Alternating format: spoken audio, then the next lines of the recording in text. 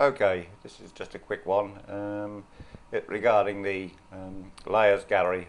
What uh, some people seem to find some trouble with is the actually having to select and deselect various layers as they go along by clicking on each individual one. Same if you want to make them editable.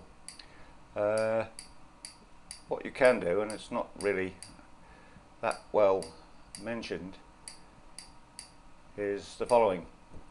Um, at the moment we're in uh, drawing layer 10 and we've got these, uh, we've got the others viewable but not editable.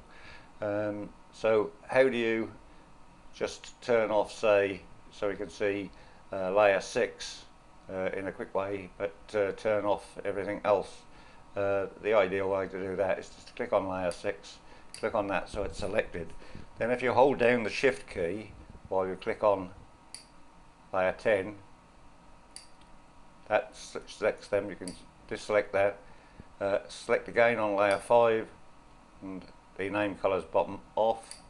And that selects them, just put them back on again, hold down the shift key, click and click, hold down the shift key, click and click, hold down the shift key, click and click, hold down the shift key, click and click. That's a very quick way of moving between layers and selecting them on and off. Just one more final time, we'll do it again. This time we're going to do layer 2. We don't want to select anything else, so we're going to select uh, the visibility of layer 3. Holding down the shift key, the visibility of layer 10, click. Hold down, uh, select layer 10, hold down the shift key, select layer 3, click. Right, layer 1, hold down the shift key, guides, click, layer, select layer 1, hold down the shift key, guides, select that. That's a very quick way of doing it. Hope that helped. Cheers, bye.